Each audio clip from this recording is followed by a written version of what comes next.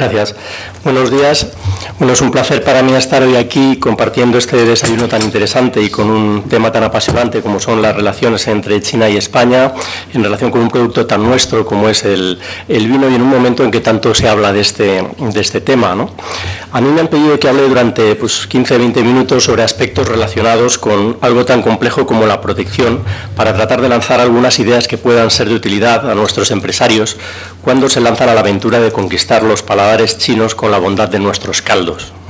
Por ello, y dado que me dedico a la propiedad industrial, me voy a centrar en algunas cuestiones relacionadas con ella y más concretamente con las marcas, las indicaciones geográficas y algunas pinceladas eh, de los nombres de dominio, eh, que son tres herramientas que constituyen un buen apoyo para nuestros empresarios en cualquier lugar y especialmente en China, que eh, hay algunas cuestiones por las que veremos que es necesario quizá un mayor apoyo porque es también un sitio donde hay unas diferencias culturales grandes con, eh, con, lo que nosotros tenemos aquí en España.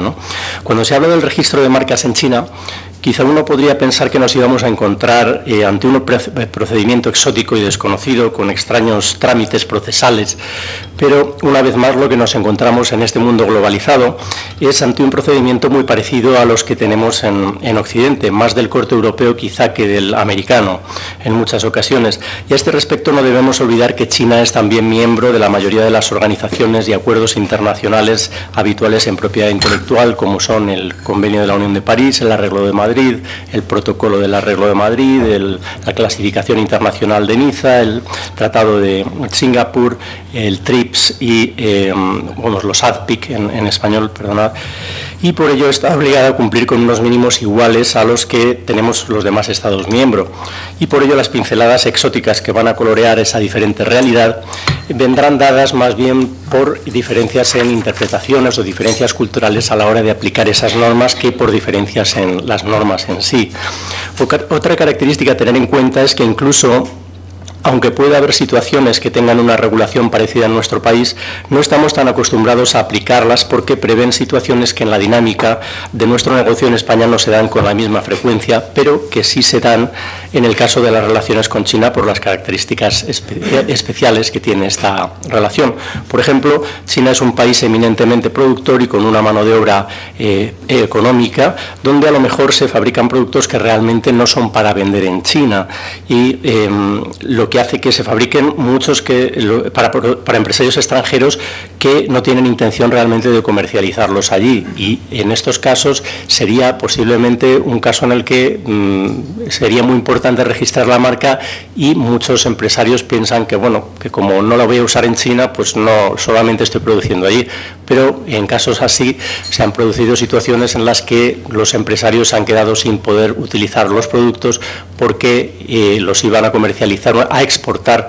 con una marca que estaba en China ocupada por otro empresario. ¿no? Y ese tipo de situaciones, aunque también puedan darse teóricamente en Occidente, eh, a lo mejor no estamos tan acostumbrados. Em, en cuanto a las vamos eh, en cuanto a las marcas podemos decir que el procedimiento de registro eh, como hemos dicho China es miembro del arreglo y del protocolo de Madrid de registro internacional de marcas con lo cual se puede solicitar la protección eh, directamente digamos a través de la oficina nacional designando la, designando China a través de España y también puede solicitarse como registro nacional el procedimiento es un procedimiento que no es muy diferente en, muchos aspectos a los que nosotros conocemos. Es una, se solicita la marca, se hace un examen de los productos, si no hay problemas, pues se,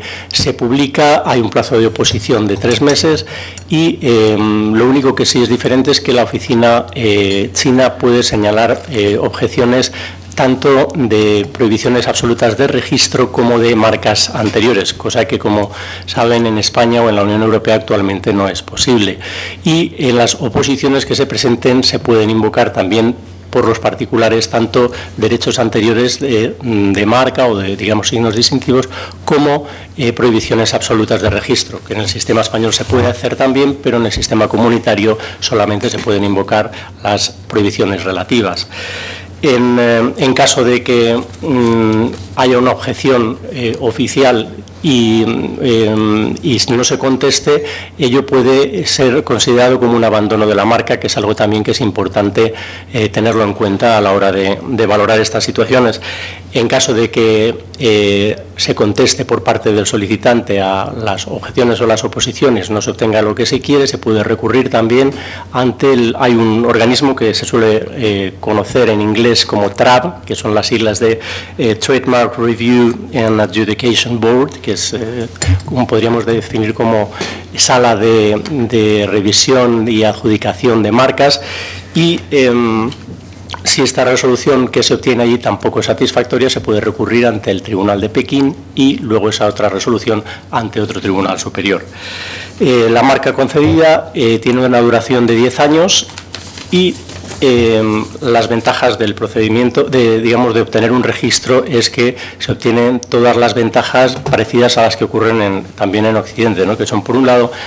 que tenemos eh, la posibilidad de ejercitar derechos de marca en procedimientos, pedir indemnizaciones de daños y perjuicios, impedir el uso de marcas iguales o em, similares para productos iguales o similares y también eh, te da el derecho exclusivo al uso de la marca, a licenciarla o transferirla. Y em, si hay un derecho un poco peculiar, que es que, bueno, si alguien vende sin conocerlo productos que implican la infracción de un derecho de marca y puede probar que ha obtenido los productos legítimamente e identifica la fuente de tales productos, no será condenado a pagar daños y perjuicios. Em, también con, este tipo de registro podemos obtener protección aduanera. Hay un sistema parecido al que hay en la Unión Europea de informar a las aduanas de los registros que se tienen para que adopten medidas y detengan productos en aduana, dando un plazo para eh, dar una caución al, eh, empresario interesado si quiere mantener esas medidas y luego iniciar una acción, aunque también puede hacerlo de oficio si tiene conocimiento. Em, el uso no registrado es posible, no es, eh, no es necesario registrar una marca, pero claro, es altamente desaconsejable, entre otras cosas porque la única protección realmente que se puede obtener es cuando se trata de una marca muy famosa y además solamente tendría una protección contra casos, en casos de confusión para productos eh, iguales o similares, mientras que en el caso del registro eh, se produce cuando son marcas famosas, también parecido a lo que ocurre en la Unión Europea, se puede romper ese principio de especialidad y traspasar, digamos, la protección frente a las marcas que únicamente son eh, para productos iguales o similares y llegar a, proteger, estar protegido incluso frente a marcas que distingan productos que no sean semejantes. Aunque nosotros la impresión que tenemos es que eh, esa protección suele ser bastante reducida y que en la China es muy habitual el ceñirse bastante a que haya una semejanza de productos y servicios.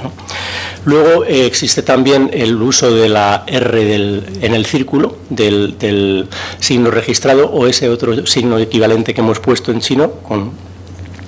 con, con su círculo y en estos casos lo que sí se indica es que debe ser usado eh, exactamente la marca como ha sido registrada. Si hay una variación en la fuente o en el estilo, por pequeña que sea, puede dar lugar a una sanción administrativa. En algunas diferencias para que podamos eh, entender más y estar más atentos con los sistemas que más conocemos, como son el español y comunitario, eh, tenemos una peculiaridad que es que cuando las solicitudes son nacionales eh, y han sido presentadas al mismo día, como saben, en España se marca la hora, con lo cual se puede saber quién ha presentado antes en la, en la Unión Europea, sin embargo no es así en la marca comunitaria. Pero en China lo que tienen es que si dos solicitantes han presentado el mismo día, como nos indica ahora,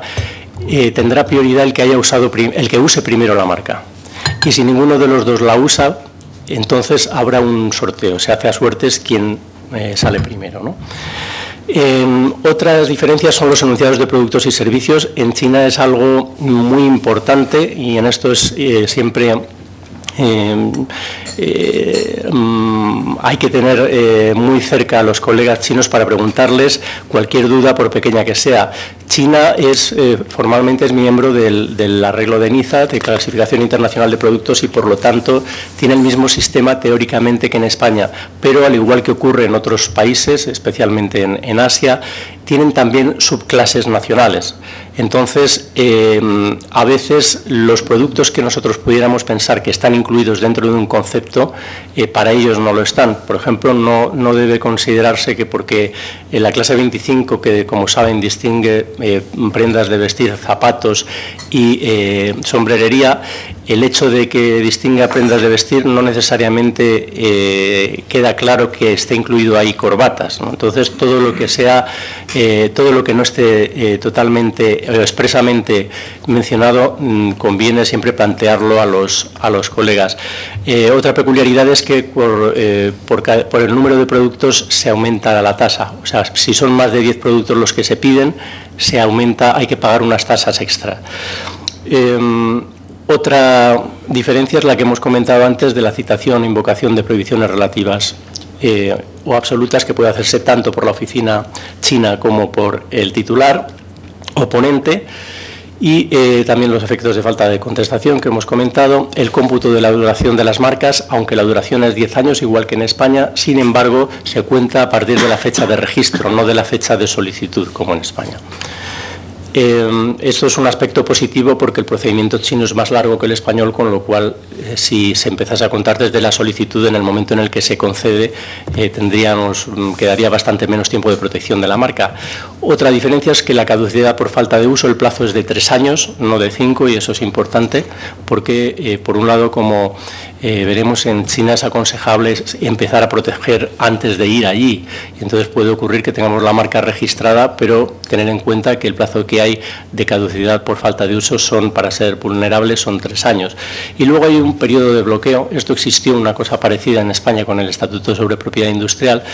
pero eh, bueno, es un año en el cual, desde la expiración de un registro de marca, ese mismo registro de marca, una marca idéntica, no puede ser registrada por ningún titular diferente al titular eh, de la marca que ha expirado, salvo que esa expiración se deba, digamos, a una declaración de caducidad por falta de uso. Si es una anulación, sí se puede hacer. Em, Sí, la ley de, eh, en cuanto a las indicaciones geográficas, tenemos que, eh, aparte de protecciones un poco generales, como ocurre también en, nuestro entorno, como son la ley de protección de derechos e interés de los consumidores, la ley de calidad de producto y la ley de competencia desleal, existen otros mecanismos en China. Existe un acuerdo internacional que es bueno, realmente un, un proyecto piloto con la Unión Europea, que era el 10 más 10 o 10 plus 10 que eh, ha hecho que estén registradas en este momento eh, recíprocamente. La Unión Europea protegió 10 indicaciones geográficas en China y China 10 indicaciones geográficas en la Unión Europea. De esas 10 eh, europeas, dos son españolas, pero son de aceite, son Sierra de Mágina y Priego de Córdoba. Eh, hay un proyecto, la idea es de que para eh, dentro de unos años llegue a, 200 las, indicaciones protegidas, y entre ellas están previstos varios vinos españoles, varias denominaciones de origen españolas como Rueda, em, em, Rioja, eh, Ribera de Duero y, algunas otras, Jerez. Mm, luego tenemos la protección sui generis y la protección como marca, que es la protección más habitual de las indicaciones geográficas